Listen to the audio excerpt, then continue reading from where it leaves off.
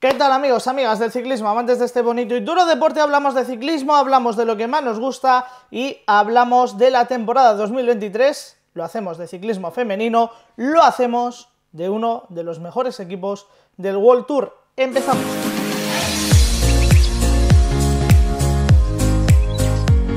SD Works es el equipo que nos compete hoy, es el equipo del que tenemos que hablar, es un equipo de los grandes de la categoría World Tour eh, femenina, del Women's World Tour. Es un equipo que en 2022 acumuló 19 victorias, pero que este año ha comprado victorias, ha comprado, ha traído una corredora que en 2022 fue capaz de sumar ella, solamente ella, hasta 22 eh, victorias, entre ellas en la primera etapa del Tour de Francia, llevándose el maillot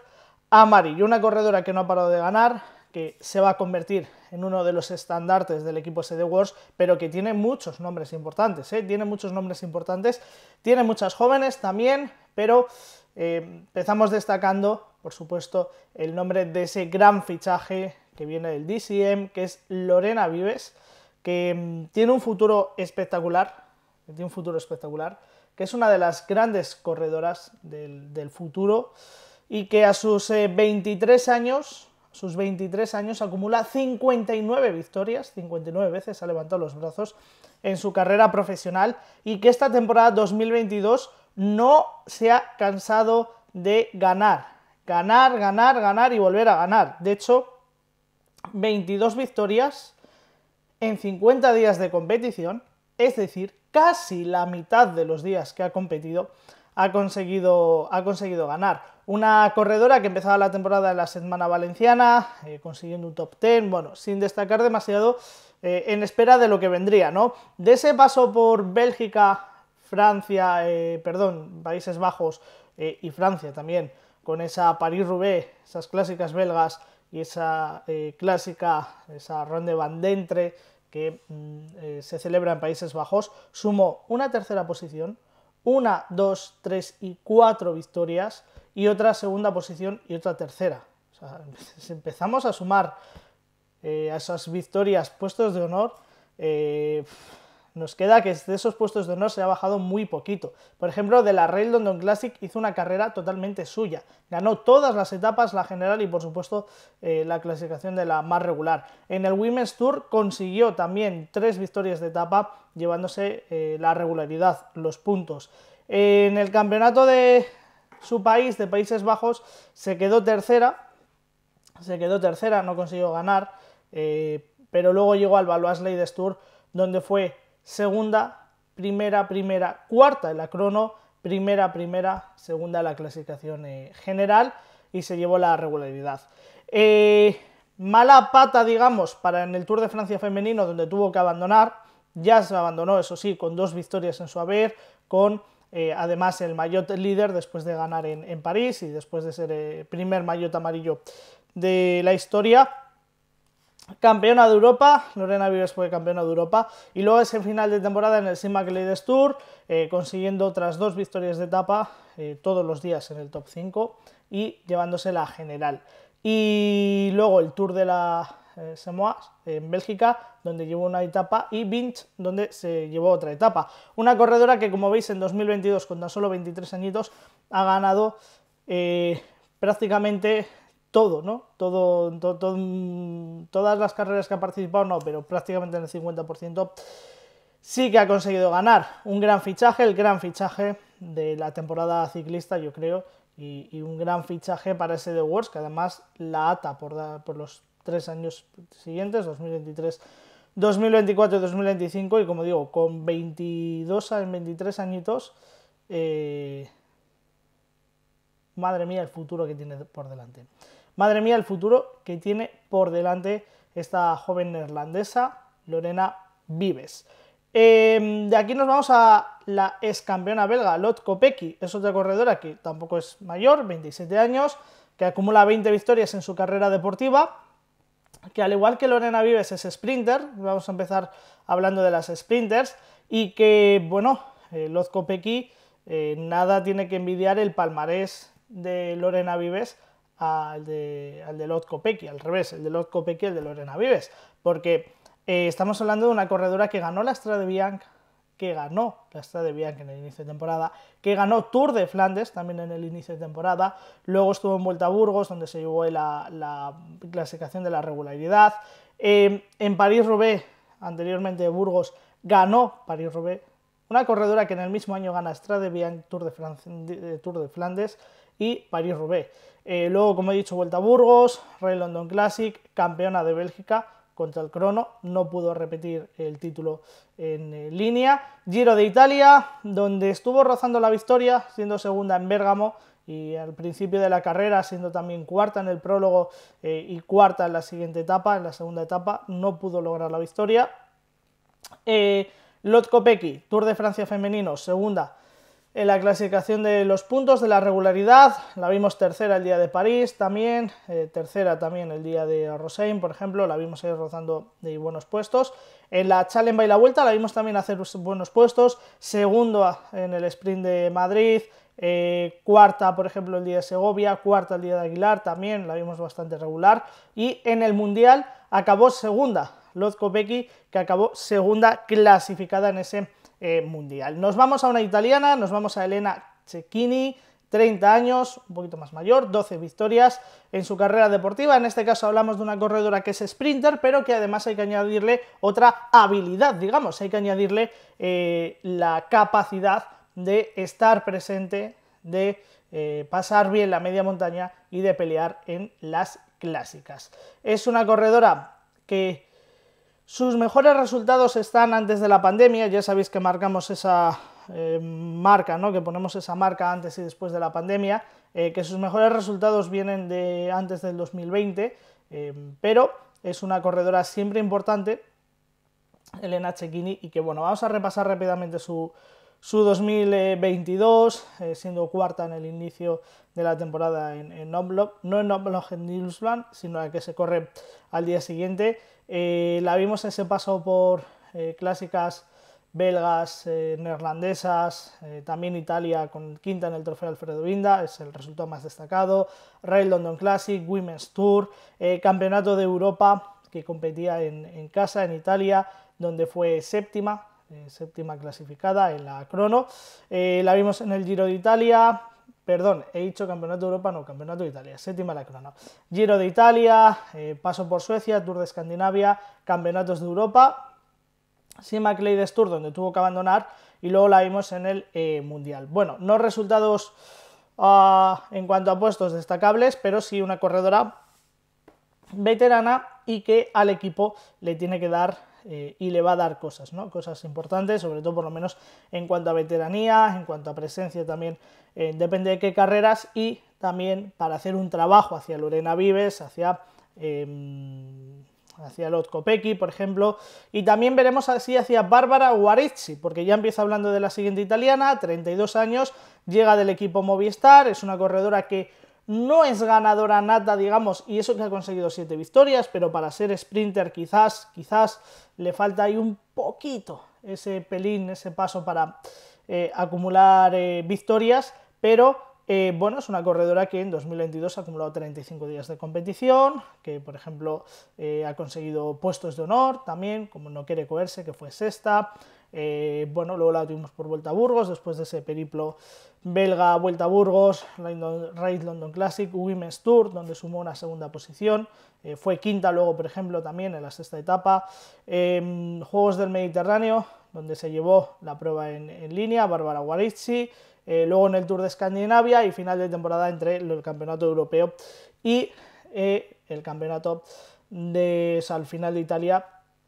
entre el Giro de la Emilia y tres valles varesinos. Eh, Bárbara Guarizzi, que como digo es sprinter pura, llega del equipo Movistar, donde no ha tenido quizás tantas oportunidades de conseguir victorias, pero llega a un equipo que le va a tocar trabajar para Lorena Vives y que también va a tener esas em, oportunidades ¿no? en algunas carreras, pero sobre todo va a tener esas oportunidades. Eh, Paso a otra, corredora, otra corredora que es un poquito más completa, Christine Mayerus, es sprinter, pero eh, también tiene un poquito ese paso de media montaña, lo que le da esa calidad para pelear las clásicas. Es un poco una corredora bastante completa. Christine Mayerus, 35 años, es una corredora que acumula 42 ah, victorias en su carrera deportiva, pero que por ejemplo ha ganado 12 veces a crono del campeonato de Luxemburgo y 13 veces la prueba en, en, línea, ¿no? Pero aún así ha ganado muchas más cosas. También es cierto que es una corredora que ha ganado antes de la, de la pandemia, que sus mejores resultados están antes, pero bueno, si vemos este 2022, em, lo empezó en el Friesland Tour, a continuación en, Holanda eh, ganó una de esas clásicas de inicio de, temporada, eh, luego la vimos vigésimo sexta, por ejemplo, en eh, la Paris-Roubaix femenina, en el Festival Elsie Jacobs consiguió una cuarta posición, en, la segunda etapa, luego Ride London Classic, Women's Tour, donde fue tercera la clasificación de la montaña, Christine Mayerus, se volvió a llevar los dos campeonatos de Luxemburgo, línea y, crono, Giro de Italia femenino, donde tuvo que abandonar, eh, Tour de Francia, paso por, por Suecia, Campeonatos de Europa, y Simac Ladies Tour, donde tuvo que abandonar y poner punto y final a su temporada en, septiembre. Así que Christine Mayerus, que es otra de las corredoras que va a aportar experiencia a sus 35 años, no va a ser importante quizás en cuanto a resultados, habrá corredoras que ganen y que consigan mejores resultados que ella, pero sí va a ser una corredora importante de cara a eh, pelear otro tipo de, cosas, ¿no? Eh, cierro este bloque de completas con una clasicómana, Charlton Vandenbroek Black, eh, corredora que fue campeona del mundo en 2017, 26 victorias en su carrera deportiva, 33 años, y este 2022 no ha vuelto a destacar eh, no, la podemos destacar especialmente por sus resultados, pero sí es una corredora que en 2021, por ejemplo, ganó el SIMAC Ladies Tour, que también fue campeona de eh, Chantal Van Den Broek de la Estrade Bianca femenina en, 2021. O sea, que, que, bueno, que Tour de Flandes lo ganó en 2020, que bueno, que es una corredora que sus resultados mejores, mejores, mejores han venido hace unas temporadas, pero que tampoco se olvida de ganar y de estar ahí adelante. Es una corredora que en 2022 compitió 34 días, que en el inicio de temporada, por ejemplo, destacamos séptima en Omlop, eh, cuarta en el Trofeo Alfredo Vinda, tercera, tercera en el Tour de, Flandes, octava en la Paris-Roubaix, luego mm, calendario típico, ¿no? Red London Classic, Women's Tour, donde tuvo que, que abandonar, campeonatos de Holanda, Tour de Francia, Suecia, eh, el trofeo Ceraticid, la clásica del Orient, y Simac Ladies Tour. Así que Chantal Van Den Breck, que bueno, pues un poco ese ha sido su, paso esta, esta temporada. Eh, siguiente nombre, siguiente nombre. Y hablamos de una corredora ya de montaña, y abrimos ya el grupo de la montaña. Nian Fisherbach, 22 añitos, súper joven, súper joven, dos victorias en su carrera deportiva, pero pero más allá de las victorias, lo que deja a Niam siendo súper joven es sus resultados. Y sus resultados este 2022, eh, con 38 días de competición, con un inicio con Astrade, Astel, Brabanzona, Flecha Balona, eh, Lieja, luego ya en el festival El Jacobs y luego ya la vimos en la Itzulia. Tanto en el Festival El Jacobs como la Itzulia se llevó la clasificación de la montaña, haciendo gala de lo que es escaladora. Eh, clasificación de la montaña que además en la Itzulia vino acompañada con un top 10 en la general, fue séptima en la clasificación general. Luego la vimos en Durango Durango, donde sumó un quinto puesto, Vuelta a Burgos, tercera en la clasificación de la montaña, Giro de Italia, donde fue quinta en la clasificación de la montaña, perdón, quinta en la clasificación general y se llevó la montaña, espectacular resultado en el Giro de Italia para Nian Fisherbach. Juegos de la Commonwealth y luego la vimos por Tour de Escandinavia, Challenge by la Vuelta y Campeonato del Mundo, donde fue décimo segunda. Así que Nian corredora de 22 añitos, otra de las corredoras, al igual que Lorena Vives, que con muy poquito, eh, muy, muy, poquitos años, muy joven, ya están ahí, ¿no? Eh, quiero destacar otro nombre para la montaña, es el de Anna Skagley, eh, la corredora 21 añitos. la quiero destacar por lo joven que es y la quiero destacar porque entre 2020, 2021 y 2022, eh, que va a ser su tercera temporada esta ya en el equipo SD Wars, entre 2000, ya digo, 2021, 2022, incluso 2020, ha sumado buenas posiciones. Ha sumado, por ejemplo, una séptima en la clasificación general de la Vuelta este año, este año también décima en el Tour de, de Romandía, Eh, Tour de Noruega el año pasado fue decimotercera, eh, decimoquinta en la clasificación de la Itzulia este año, así que una corredora que tiene 21 añitos, que es muy joven y que ya está ahí, ya está ahí, ya está haciendo top 10 con las mejores, así que de aquí solo puede ir hacia más arriba todavía, ¿no? Eh, para, ver un poco que este equipo SD Wars tiene mucha calidad eh, de, gente que ya le va a dar victorias, pero mucha calidad eh, joven. siguiente nombre de mi Bolerín, 26 años, una corredora que acumula 12 victorias en su carrera deportiva, que este año ganó la Itzulia, ganando además tres etapas, fue absoluta dominadora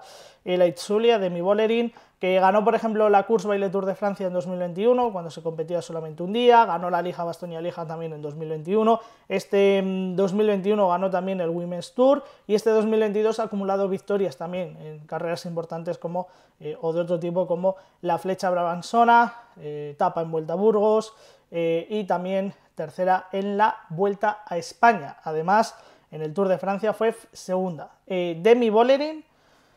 que es una corredora súper completa, que es una corredora salvando mucho las distancias, podemos decir tipo Annemiek van Vleuten, porque está ahí en las clasificaciones generales, porque está ahí en la montaña, pero también está ahí en las clásicas. Así que Demi Bolerin, que a sus 26 años, su 2023,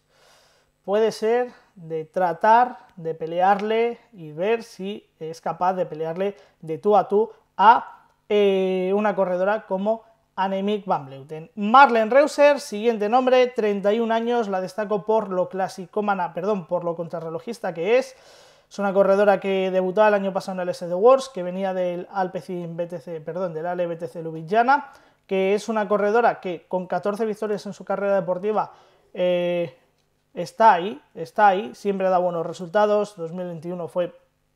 segunda en la crono de los Juegos Olímpicos, una de las grandes contrarrelojistas del momento, segunda la general de la Vuelta el año pasado, eh, segunda la general del CIMAC Ladies Tour también el año pasado, en el Campeonato del Mundo ha sido dos veces segunda, 2020 y 2021 en la crono, y acumula este año etapa en el Tour de Francia, etapa de la Vuelta a España el año pasado, así que es una de las corredoras tercera, la crono de este año del, Mundial, es una de las corredoras que eh, Marlene Reuser es de las grandes especialistas contra el crono y que luego también tiene esa capacidad de estar en clasificaciones generales, incluso de, meterse en alguna clásica. ¿no? Y quiero destacar eh, tres jóvenes, Blanca Catabás, Blanca Catabás, Blanca Vaz, mm, la tenemos aquí como si llevase toda la vida con nosotros, tiene 21 añitos, es una corredora que tiene 21 añitos, 5 eh, victorias ya en su carrera deportiva, aunque esas 5 victorias se reparten en el Campeonato de Hungría, eh, contra el Crono 2 y en línea 3. Eh, es una corredora que fue cuarta en el Campeonato del Mundo, por ejemplo, en 2021. Una calidad extraordinaria, que es clasicómana, pero que también pasa la, montaña. Así que una corredora súper completa, Blanca Catabats y dos jóvenes que también quiero destacar porque ya han dejado buenos resultados. Micha Bredwall, eh, corredora neerlandesa, 22 añitos, cuatro victorias en su carrera deportiva y victorias que ha conseguido este año, como eh, etapa en el Ladies Tour, en el SIMAC Ladies Tour, etapa en el Valois Ladies Tour, o por ejemplo sexta la general de ese Valois Ladies Tour, o eh, por ejemplo eh, décimo primera, ¿no? Un décima en, la misma carrera en el Ladies Tour, pero en la anterior temporada. Y la última, Lonek Uneken, 22 años, sprinter, 4 victorias en su carrera deportiva, eh, va a ser su tercer año con el equipo, sus 22 años, tercer año con el equipo, eh, ganó etapa del CIMAC Ladies Tour en 2021, ganó etapa también en 2021 en el Valois Ladies Tour, así que todas las corredoras sprinter de futuro y de no tan futuro porque ya está ganando. Ese de Wars con Lorena Vives va a ser uno de los grandes, ya lo era, pero va a ser uno de los grandes equipos, de los equipos referencia de esta temporada 2023. Veremos, veremos qué pasa. Hasta luego.